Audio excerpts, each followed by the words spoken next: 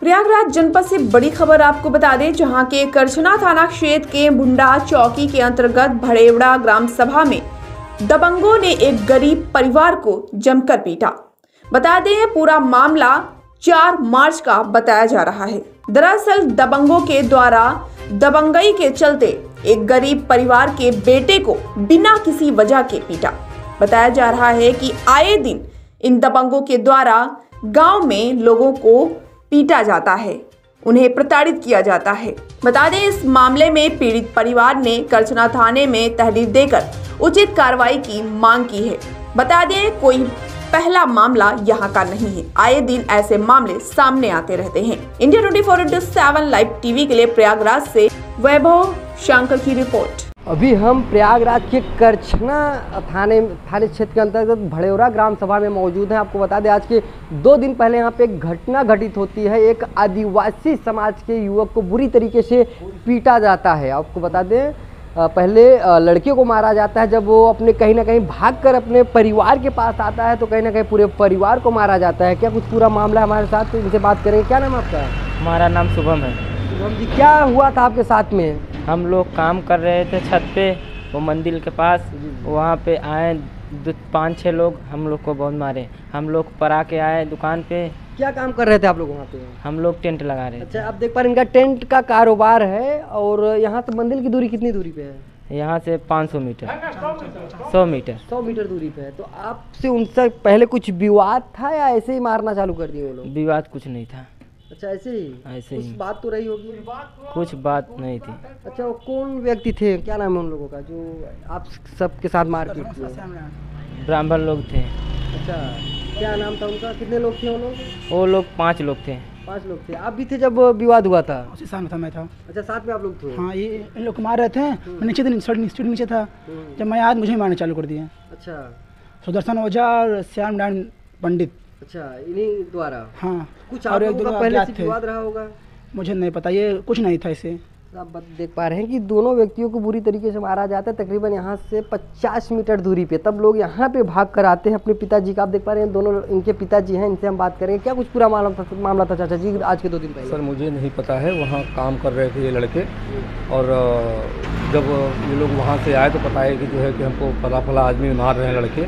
तो हमने कहा कि भाई क्यों मार रहे हैं? तो हम जो है बीच बचाव करें, तब तक उनके घर से जो है करीब एक उनके सोनू मिश्रा हैं और उनके भांजे हैं, गोलू मिश्रा, ये और कुछ गाँव के और लोग जो है उनके साथ में थे, जो भी रहे हों, उनके नहीं पहचानते। तो वो लोग जो है आए और हमें जो है मारने पीटने लगे। ये देखिए जो है हमारे सीने में मारा झटका और यहाँ पे ये पूरा कपड़ा फाड़ दिया है। बताइए पहले विवाद शुरू होता है यहाँ से मंदिर पचास मीटर दूर मंदिर से। फिर विवाद यहाँ तक हुए दोनों आपके पुत्र वहाँ से यहाँ पे भाग कर आते हैं तो जो आरोपी थे यहाँ तक भी आ गए। हाँ हाँ, फिर यहाँ पे भी मारपीट हुआ क्या? यहाँ से हमको मार करके हम हमने मारा सीने में मारा अभी भी दर्द हो रहा है।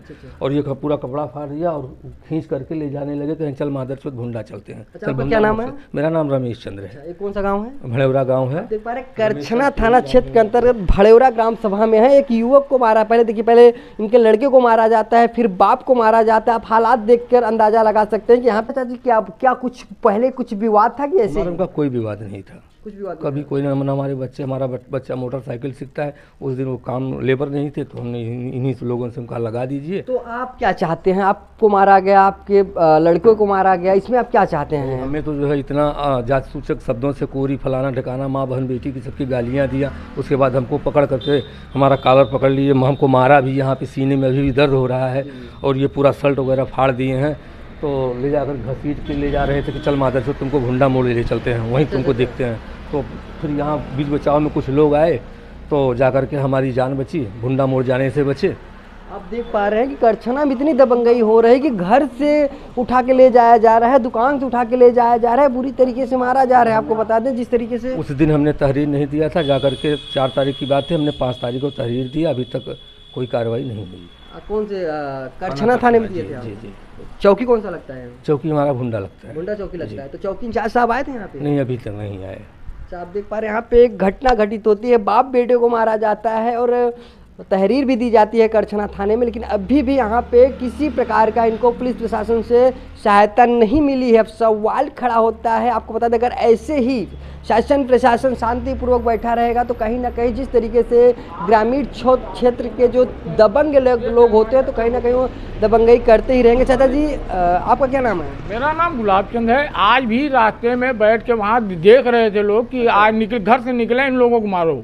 अच्छा मतलब आज भी डर है कि अगर आप लोग उधर जा रहे हो तो आप लोगों को मारने की कोशिश हाँ, करेंगे? हम लोग को मारने की कोशिश कर रहे हैं बच्चों को। अच्छा आप इन्हीं के परिवार से हैं? हाँ ये हमारा लड़का है। अच्छा अच्छा अच्छा। आज भी देखे थे वहाँ भुंडा मोड़ पर बैठे थे वो लोग आठ दस लोग। अच्छा अच्छा। लाठी डंडे ले थे।